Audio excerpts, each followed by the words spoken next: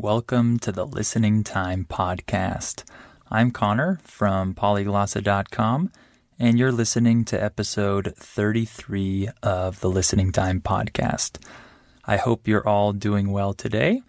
I'm happy today because it's actually a very nice and sunny day here in my city. And if you remember back from my episode about seasons and weather, uh, I told you that in my current city, the summer is the rainy season.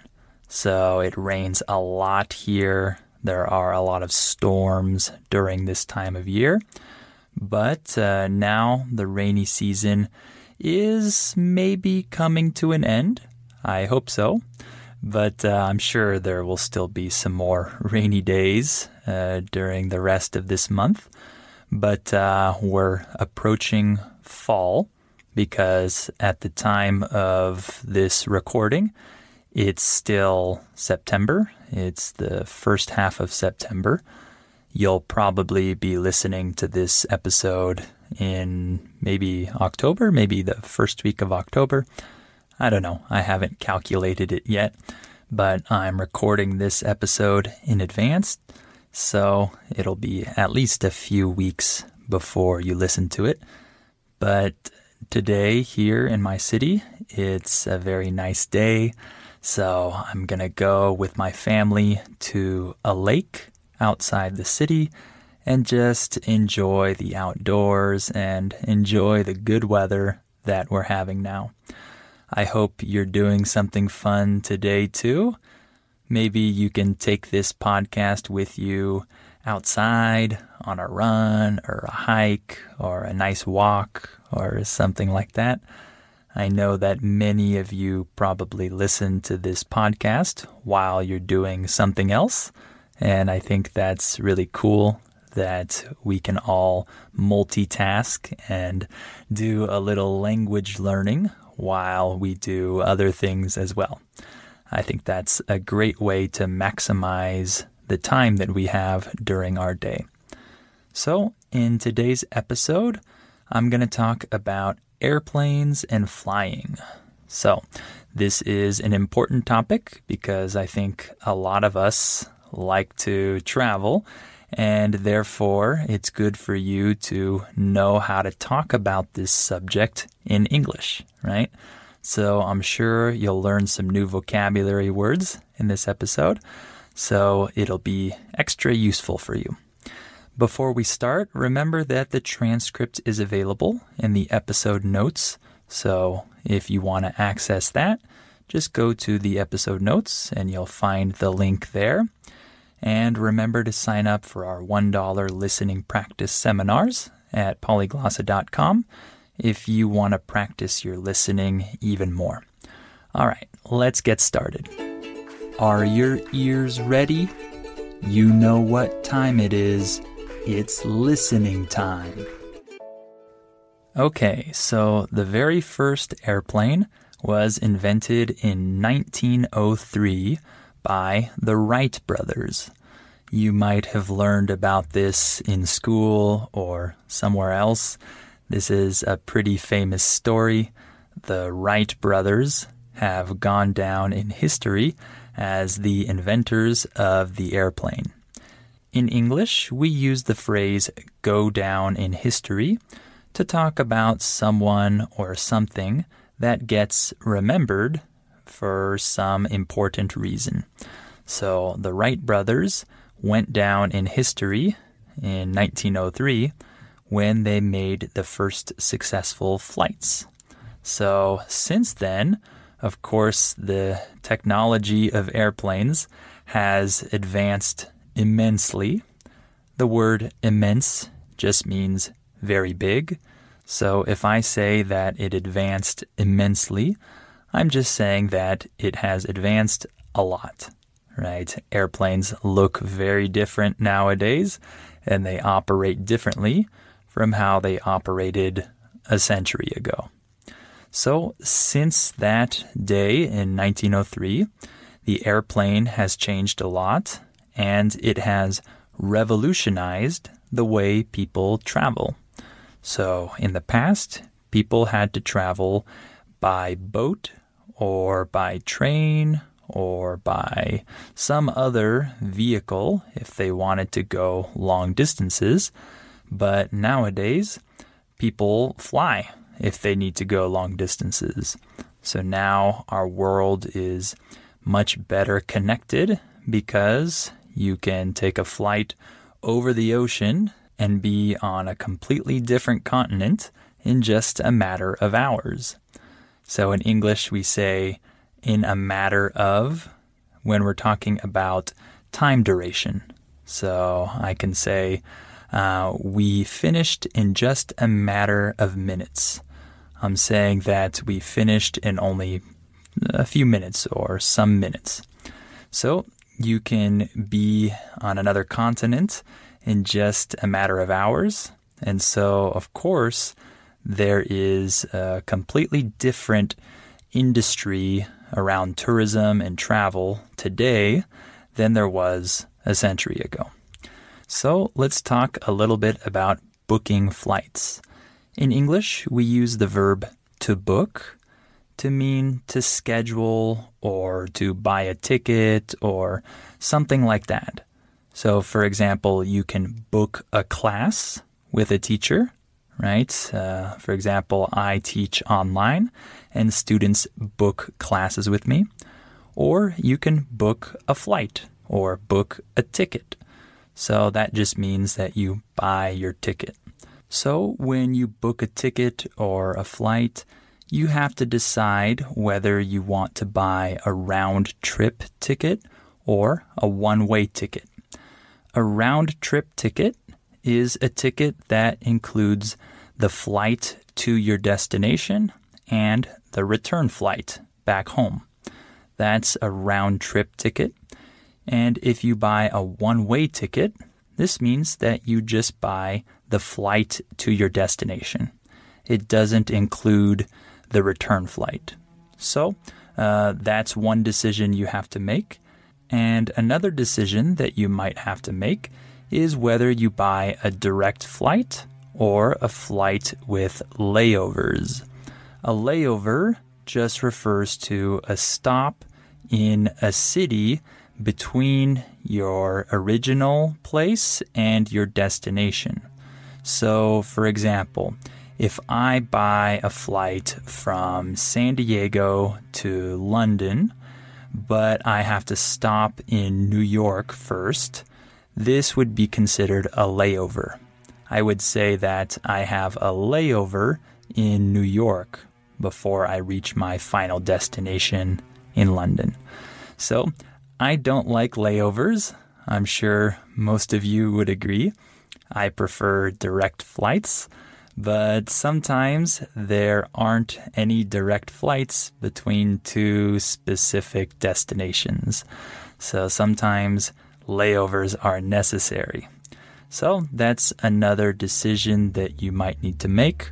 Or maybe you have no choice. Maybe you have to have a layover in a certain city. So, personally, I don't like to have flights that have a very short layover because I don't trust that the first flight will arrive on time. And I'm always scared that I'm going to miss the connecting flight. The connecting flight just refers to the next flight, right? The flight to the next or the final destination. So I'm always worried that the layover won't be long enough and so, what I sometimes do is, for example, if I'm going to fly to Europe and I'm going to fly from California to Italy, for example, I'll first book a flight from like Los Angeles to London, for example, a direct flight, and then I'll book a separate flight from London to the city in Italy and I'll book this second flight like a day after the first flight.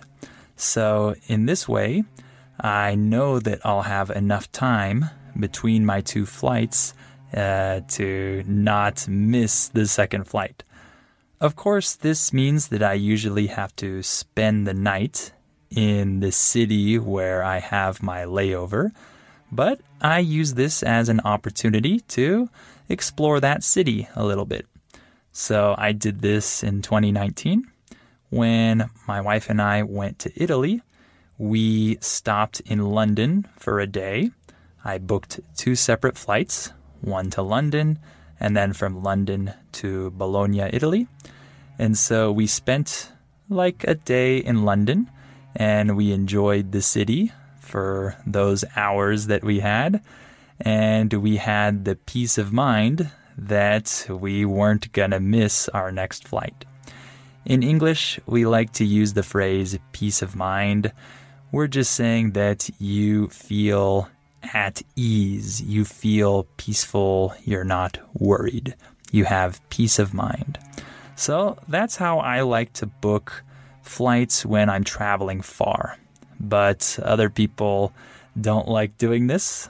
A lot of people buy all of their flights uh, together with one company.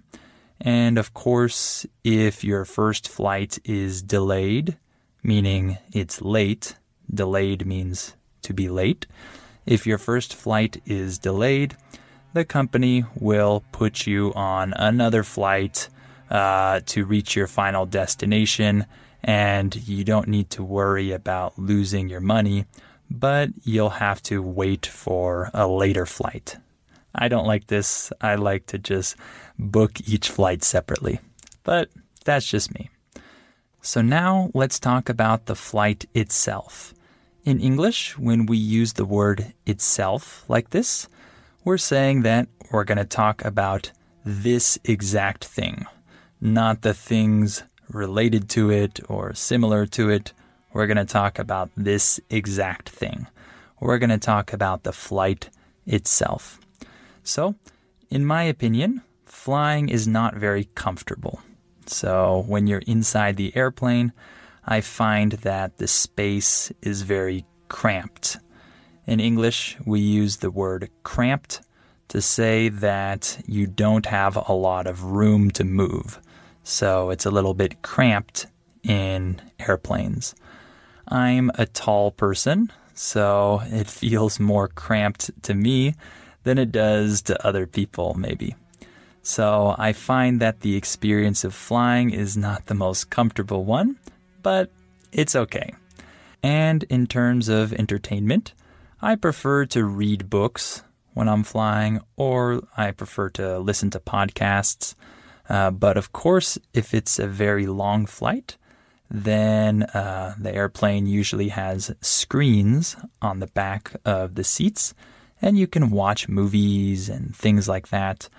And I've only done that a few times because I've only flown to a few very far destinations. So normally I don't have the chance to do that. I normally don't have a screen available on the airplane that I'm flying on. So I tend to read or I listen to podcasts. So that's what I do for entertainment.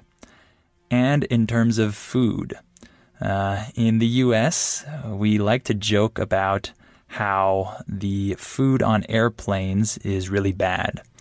I don't know if this is true exactly, but this is a stereotype that we have about flying, right? If you fly, you have to endure the bad food. When we say endure, we just mean that you have to deal with this thing. So you have to endure the bad airplane food. Um, I think the few times that I've eaten on airplanes, uh, I haven't found the food that bad, but it's also not gourmet either. But I rarely eat uh, on airplanes nowadays because if I'm flying a short distance, I don't order food. I just uh, wait until I reach my destination. And uh, one other interesting thing about uh, flying is that in the US, it's actually quite common to talk to the person who you're sitting next to, even if they're a stranger. So I've done this a couple times before when I'm sitting next to a stranger on an airplane. they might make some small talk with me. And then, if we're both interested in continuing the conversation, we might actually start talking. I don't do this a lot, but I've done it a few times, I think. But this is fairly common in the US. Uh, you can kind of feel out the situation and see if the person next to you seems like they want to talk or not. And if they do, it's perfectly okay to talk to that person. But I know in other countries, this would probably seem very strange. So I think this is a cultural difference. So now let's talk about the fear of flying. This is one of the biggest factors when it comes to flying. In my experience, uh, talking to people from all around the world, I've found that a large percentage of people have a fear of flying. I don't know the exact number, but it seems like a very high percentage. Uh, I don't have a deep fear of flying, but I'm a little bit afraid. I fly a lot. I fly very often, actually. Uh, I would say probably five, six times a year, sometimes even more.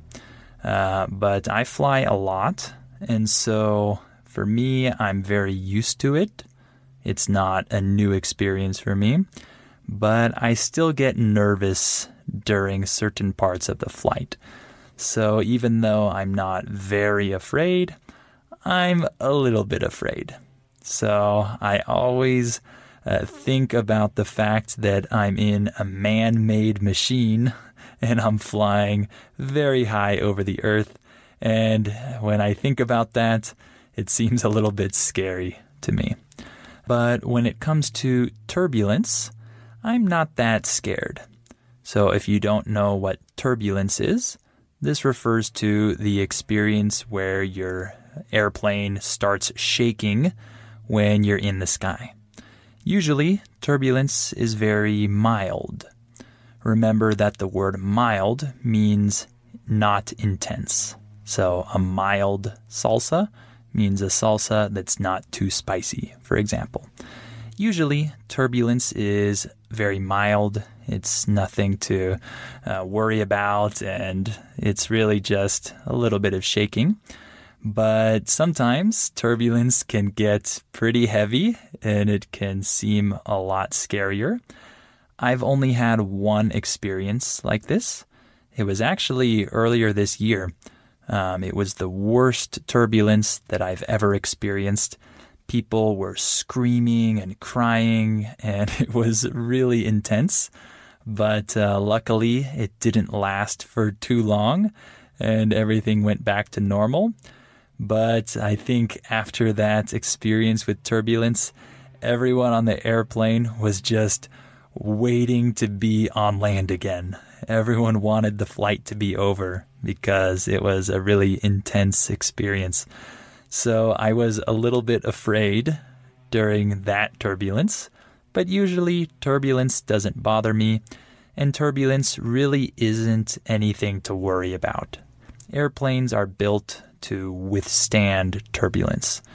The word withstand just means to endure, like the word I taught you earlier. The airplane can deal with turbulence. I've talked to several pilots because I've had students who are pilots, and they've told me that the parts of the flight that are the most dangerous or the riskiest parts are the takeoff and landing.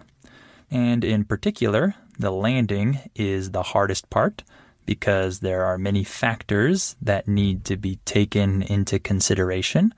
Like, for example, if the wind changes direction at the last moment, this can be very tricky for pilots. But in general, there's nothing to worry about. And like I said, when you're just cruising in the sky, meaning you're just going at a normal, comfortable speed in the sky. The word cruise means to just uh, go at the same speed comfortably. When you cruise in the sky, when you're just uh, experiencing a little bit of turbulence, there's nothing to worry about. I guess the only time you might worry is if the flight attendants are also screaming and crying. The flight attendants are the people that work on the airplane that serve you food and help you out. These are flight attendants. Okay, lastly, I just want to make a note about low cost or budget airlines, as we call them. Nowadays, you can actually fly for very cheap if you fly with a budget airline. I've done this a few times before, and the experience was actually very nice. There were no problems. So, uh, on these flights, sometimes they have restrictions about how much baggage you can take. So, the word baggage just refers to the suitcases that you have. So, on some of these flights, you have to take the minimum amount of baggage if you want to get the really cheap price. If you add more baggage, then the price goes up. So, I've traveled with several budget airlines and I traveled with very little baggage, so I didn't need to pay extra. And uh, I also didn't have any free food on the flight. Uh, I had to pay extra if I wanted food during the flight, so that's one other thing to consider. But overall, it's very nice. It's a good experience, and I definitely recommend it to people. Budget airlines are a great option nowadays. All right, I think I'll end there for today. Hopefully, this episode was interesting for you, and hopefully, you learned some new vocabulary. I'm sure you did. So remember that you have the transcript available in the episode notes, so you can access it there. Also, remember to sign up for our $1 listening practice seminars at polyglossa.com. And make sure to share this podcast with anyone else who might find it useful and help this podcast grow. Okay, thank you for listening to this episode and I hope you'll come back for episode 34 of the Listening Time podcast.